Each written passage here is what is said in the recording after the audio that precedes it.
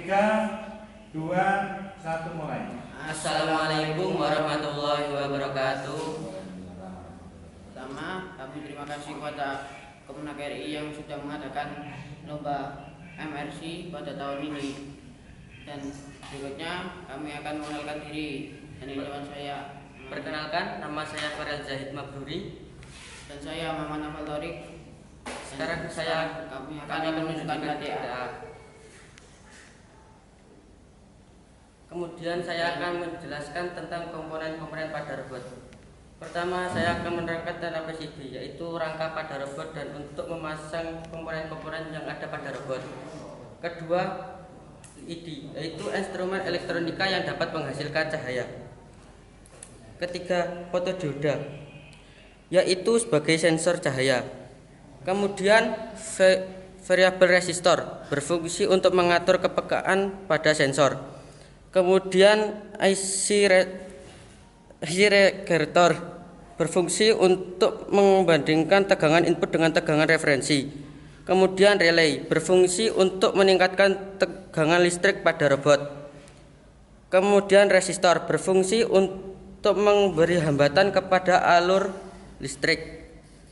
Kemudian motor DC sebagai penggerak utama pada robot. Kemudian baterai sebagai pemberi energi pada robot.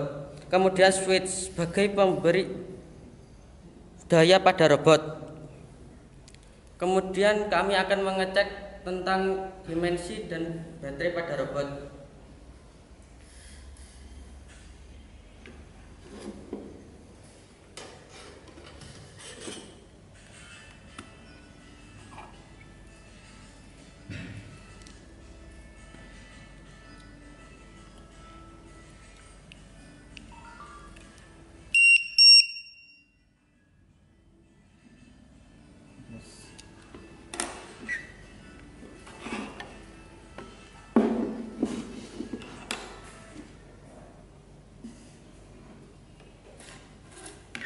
Kemudian saya akan melihatkan tentang ukuran pan, ukuran lebar pada jalur.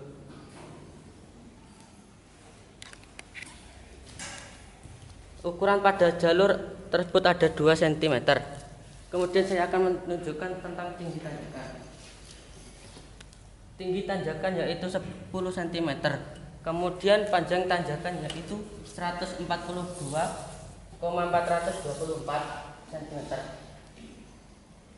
Kemudian saya akan menunjukkan tentang race.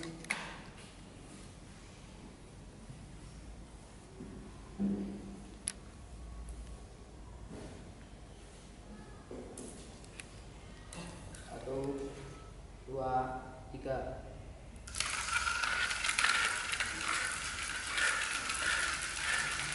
Try.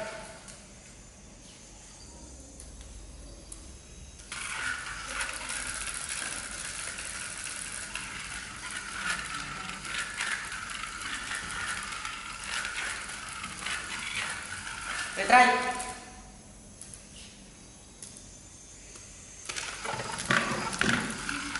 Finish.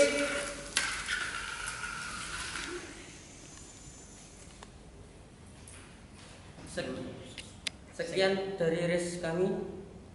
Kami mohon maaf apabila ada kelebihan dan kekurangan pada video ini. Terima kasih untuk pembuatan video ini. Wassalamualaikum warahmatullahi wabarakatuh.